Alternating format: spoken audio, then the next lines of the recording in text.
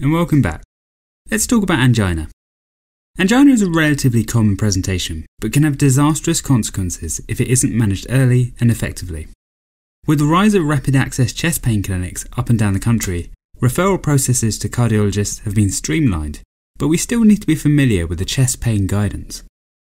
Angina is effectively pain or discomfort involving the chest, neck, shoulders, jaw, or arms due to an inadequate blood supply, usually because of coronary artery disease.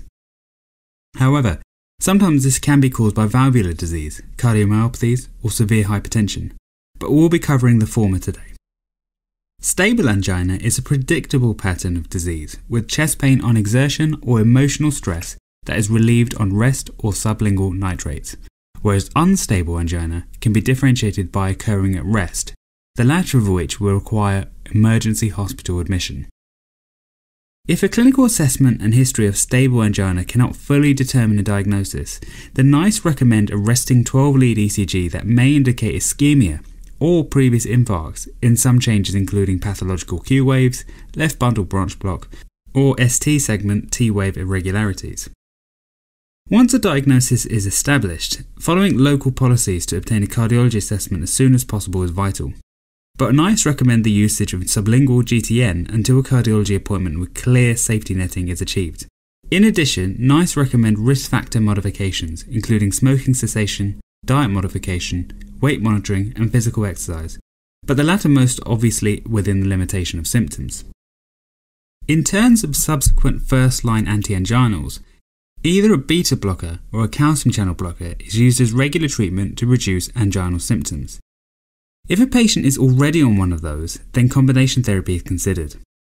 If this isn't tolerated, then second line treatment can be considered, which usually is a choice between a long acting nitrate, nicorandil, ivabradine, or ranolazine depending on the patient's medical background.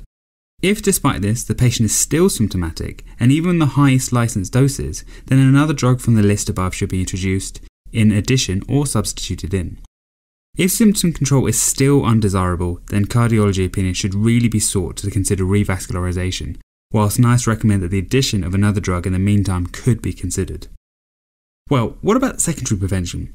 Once a patient has established angina, they're advised to take antiplatelet therapy, usually aspirin 75mg a day. Depending on comorbidities, an ACE inhibitor is considered in patients with hypertension, heart failure, chronic kidney disease, or previous ischemic heart disease, unless it's contraindicated, and lipid modification blood pressure control is advised in addition.